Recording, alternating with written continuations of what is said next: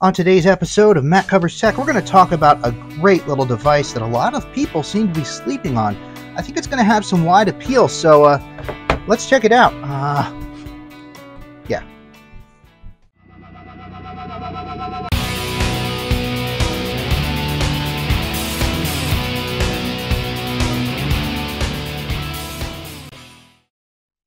Welcome back to the channel. It's great to have you here. And if you're joining us for the first time, a warm welcome to you.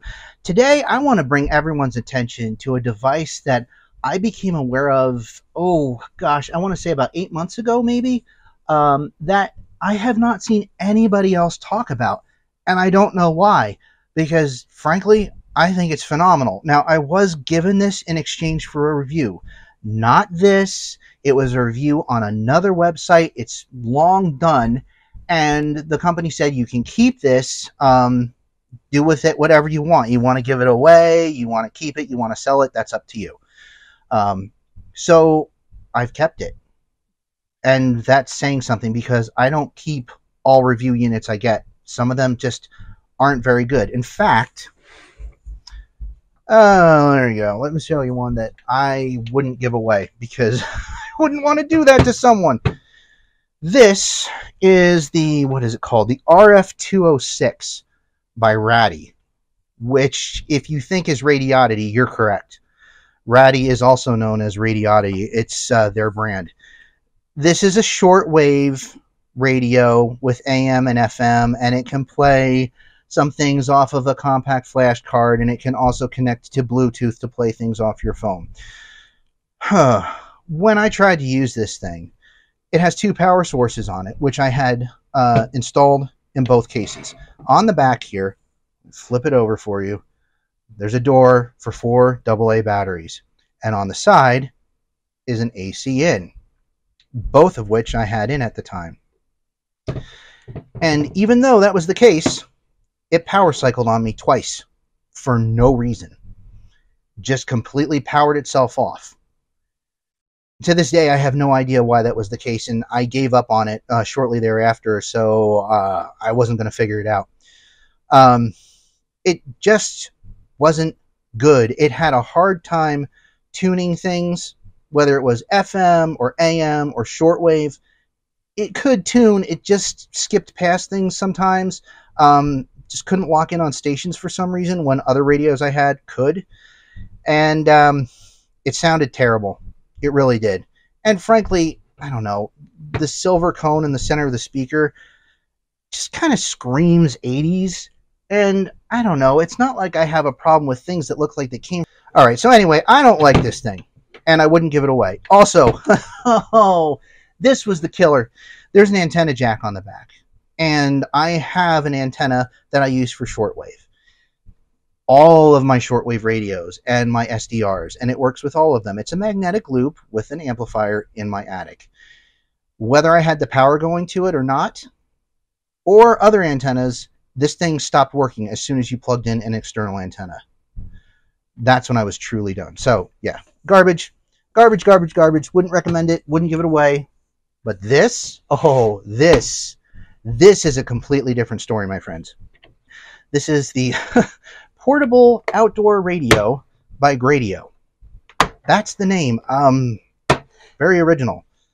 There's the name of the company, Greadio. I think that's how you say it. Greadio. And portable outdoor radio.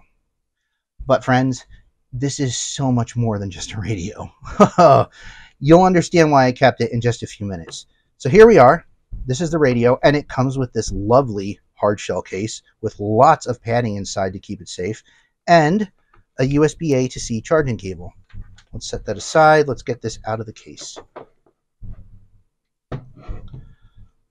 Top view, front view, side, side, and back.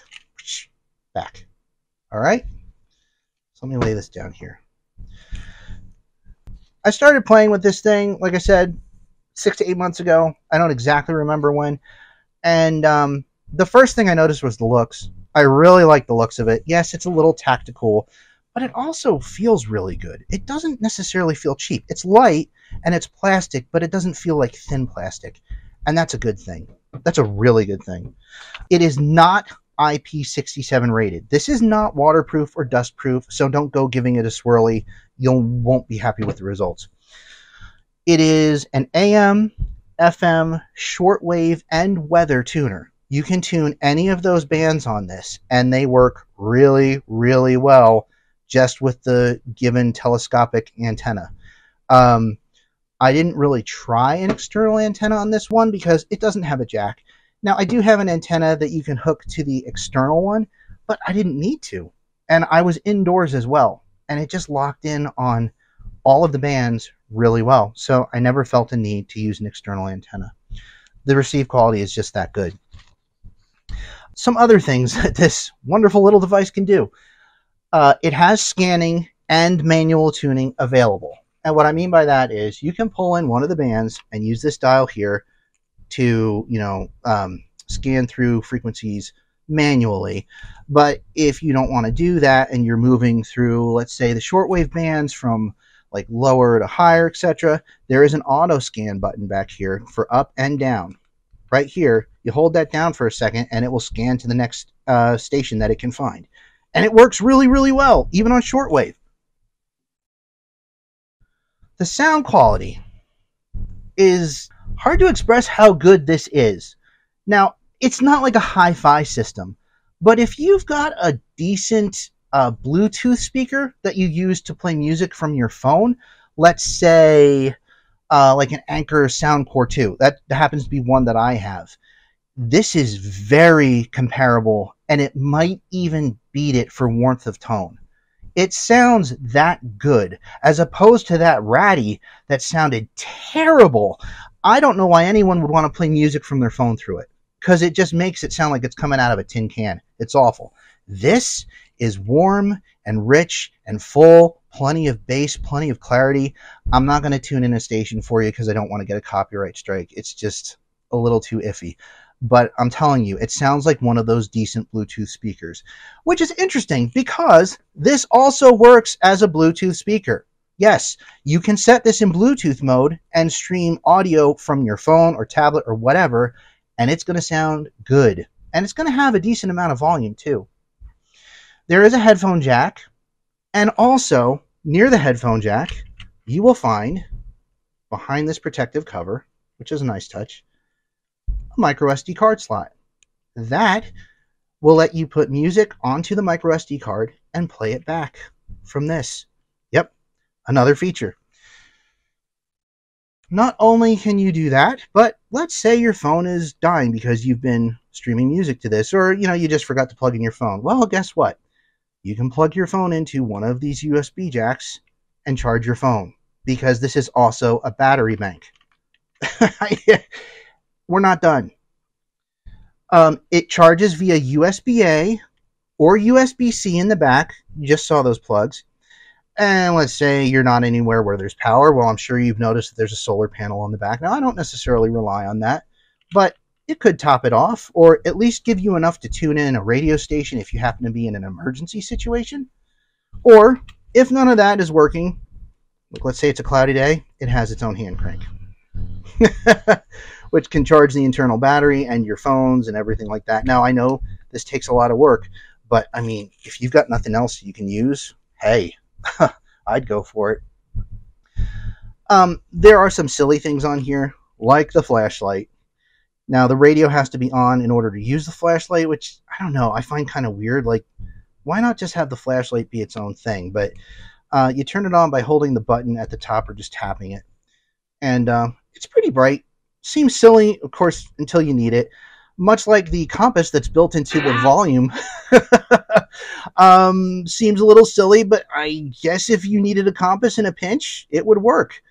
Um, so yeah, and the antenna options on it. Again I, there's no external antenna jack on here which is kind of a bummer. I can understand why maybe because you know they were trying to put a lot into a little package here. Um, there are long wire antennas that you can use that will clip onto the internal antenna down at the base they're usually like a little alligator clip that clips on here and then you run the wire i'm sure that would work i actually have one like that from an old sony uh, shortwave radio that i had i didn't use it i just didn't need to this thing worked well enough without it that I didn't bother. Let's see. What else? What else? What else? What else? It doesn't feel cheap. It doesn't feel like a budget radio. It's about 40 bucks, I think, on Amazon, $39.99. I have noticed that it will be in stock and then out of stock, in stock and then out of stock, and it's um, hit or miss whether you're going to find it in one state or the other. I do have an affiliate link below that helps out the channel, but I can't guarantee you that it's going to be in stock if you go and look for one. So um, if it's not in stock one week, go back the next week and see if it is in stock. They'll usually tell you how many are left, you know, like only 10 left or whatever.